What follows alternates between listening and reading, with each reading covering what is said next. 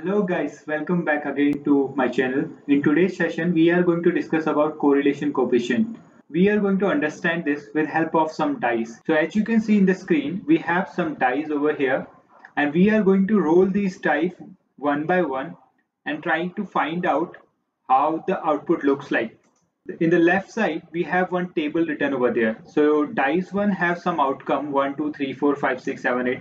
Let me change this if you see I, if I'm changing 2 to 6 the dice 1 graph is changing with respect to the numbers I'm changing in the table. So if I say that I randomly triggered the die 1 and I got some outcome. So these are the outcome. Let's change the number to a series like 1 2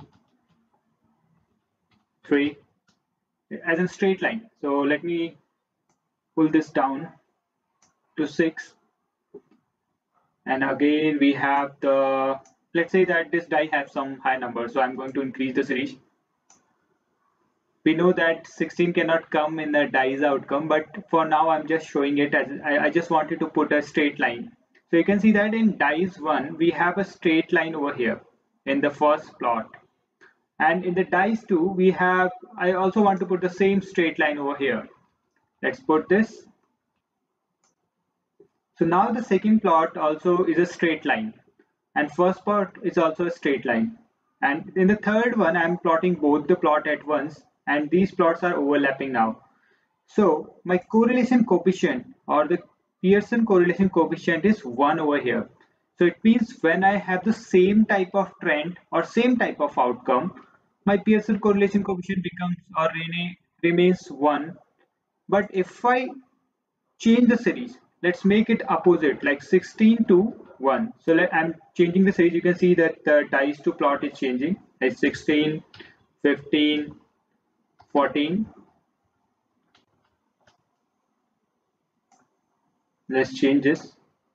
Now my first outcome in the first die is 1 in the second die is 16 so these are just uh, opposing series and in this in this third plot you can see that we have like two it's a cross type of plot I'm getting.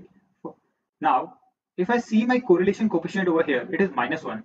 So what type of feeling is giving me? It's giving me that if the series or a number or the output or a random variable, the same type of trend, my correlation coefficient becomes one. And this correlation coefficient varies between one and minus one.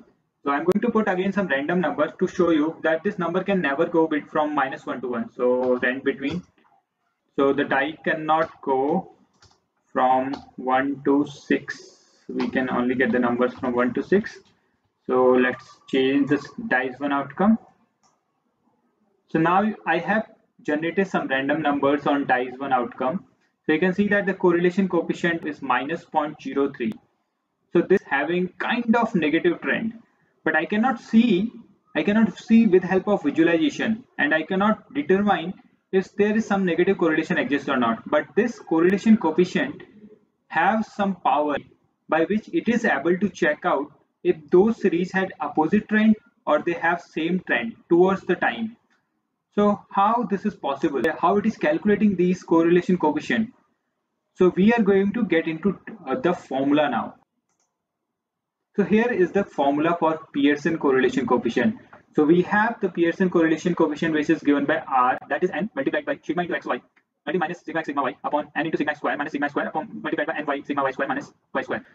Okay, so this formula doesn't give me any feeling. So let's put the same number series over here and try to apply this formula on top of this. So here I have created one more table.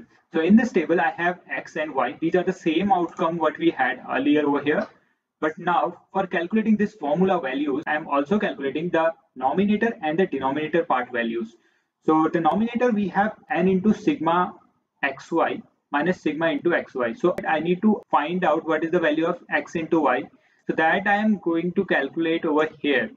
So what I'm doing that I'm just multiplying 1 and 5 that is 5, 2 and 4 that is 8, 3 and 7 that is 21. So I'm just finding out the values of multiplication of x and y now I'm just squaring this dice 1 outcomes over here. And then I'm squaring up dice 2 outcomes over here. So once I am I am able to do it now I just have to calculate the sum of all these series. Because the upper part of the formula it says that sigma of xy. So means I have to find out the sum of this complete numbers from 5 to 15 so this is my number which is coming on the nominator part over here.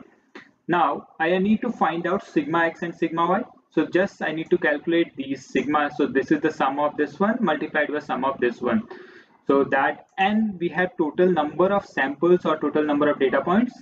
Now this value sigma xy is 269 you can see from here to here.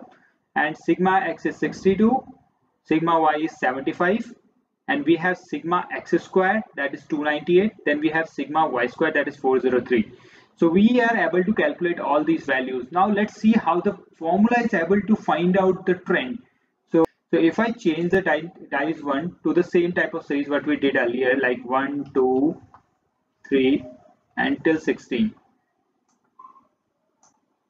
Okay, now I have changed the series to the same type of trend. Again I'm dice 2 I'm changing the same.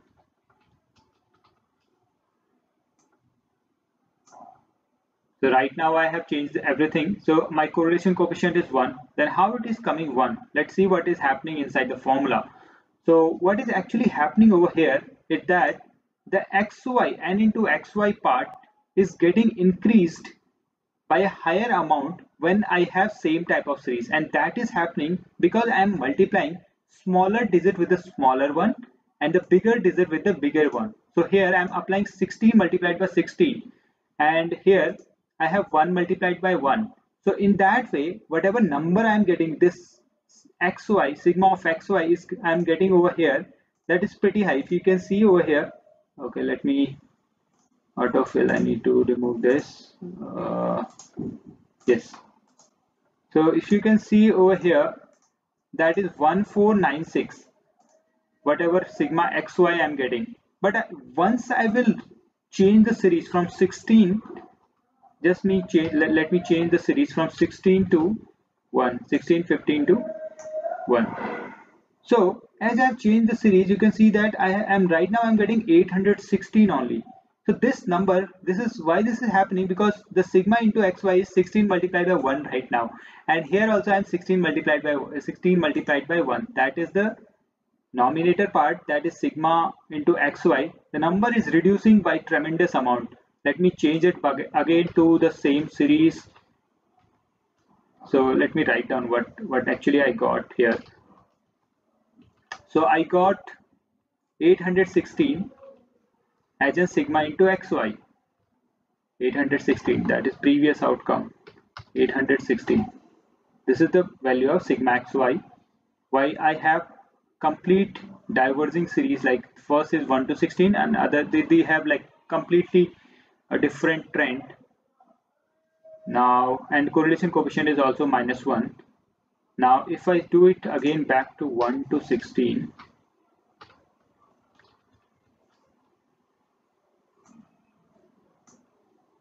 the number over here is 1496 so you can automatically see here that there's a very high difference when we have when we have a same type of series or same type of trend in the series and one when we do not have the same type of trend in the series the same is happening over here. So what is this nominator part doing here, here is that while we have same type of trend in the series, the higher number will get multiplied with the higher number of different series. So the total sigma of xy what I will get will be pretty high. And if it is a diverging series, whatever, uh, if it is a diverging series means one series is going downwards and other series is going upward, so the lower, the lowest digit of one series gets multiplied with the highest digit of multi So let's say that we have 16 multiplied by 16. That will be a pretty big number. Now, if I'm multiplying 16 by 1, that will be a pretty small number. So in that way, while doing the multiplication, it's automatically considering the trend of both series. So while we were able to get the trend, now we need to normalize the value because this value the n multiplied by xy minus sigma x and sigma y, it will be a numerical value. It won't be from minus 1 to 1. So for nullifying or the normalizing that value, I am dividing it by the this denominator. So once I'm dividing it by the denominator, if you see over here, if the value is pretty high over here, the denominator itself will become pretty high. So the maximum value what I can in get in the correlation coefficient will be 1 and the least value what I can get in this will be minus 1. So this denominator part is just normalizing the correlation coefficient and the nominator part is finding out the trend between two series. So hopefully I was being able to make you understand what is happening inside the formula and how we calculating the correlation coefficient. Please consider subscribing the channel because we used to come up with these type of videos every single week. So with that, we will close today's session. Bye bye. Take care.